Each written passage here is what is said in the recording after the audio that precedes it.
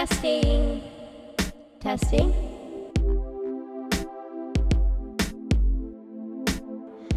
I wonder if watching dust feels fast when we are old. When I was little, I remember going to bed before the sun was down. I could even hear kids still playing outside. At that time, I was a serious roller skater.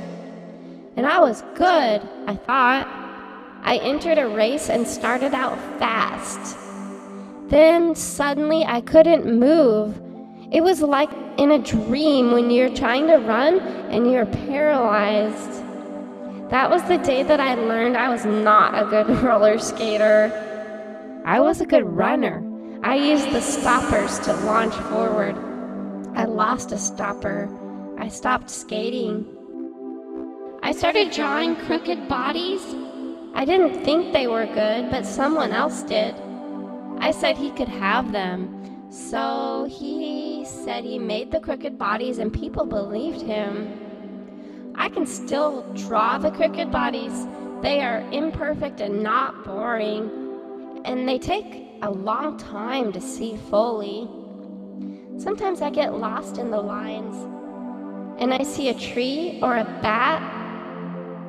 What do you see? I wonder whose graffiti will outlast us? I wonder if we added heavy metals to our ink, would it never fade even when the cardboard degrades? One time I sat beside a sad man in a waiting room. He was watching the caged birds, but his head was down, chin against his chest, barely breathing. His chair wheels were locked. He wasn't going anywhere. I wondered if he was bored. I was. I thought, how boring. You're not even watching the birds. And you're not snoring, just staring away the hours. Then I felt him feel lonely. I wondered if he lived through someone else and not himself. Then that person went away and left him like a speaking doll, shut off.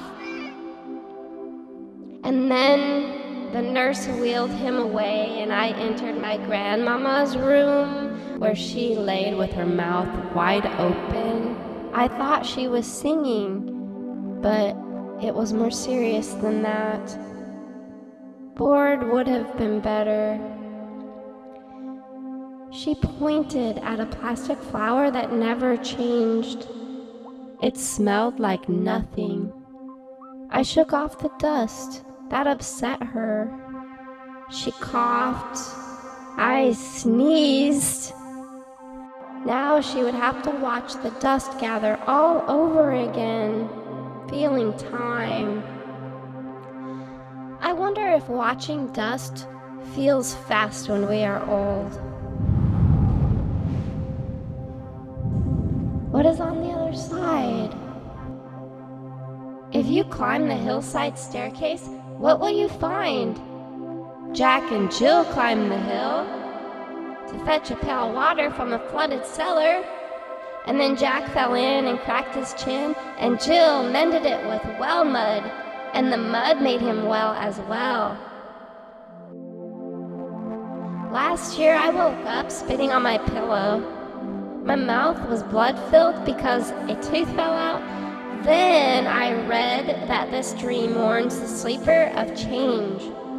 Deciduous, it said, means to shed. So I decided to focus instead on the thoughts inside my head. I got a dress and learned to make beds and mess them up. On the springy ones, I would buck like a horse and neigh loudly. It felt serious if I were a horse, but I was not, and then I got caught. So I focused instead on lofting the sheet to fall perfectly on the form. Sometimes I would loft the seams against the inside and have to start over so crooked bodies beneath the sheet would feel the smoother side of the two.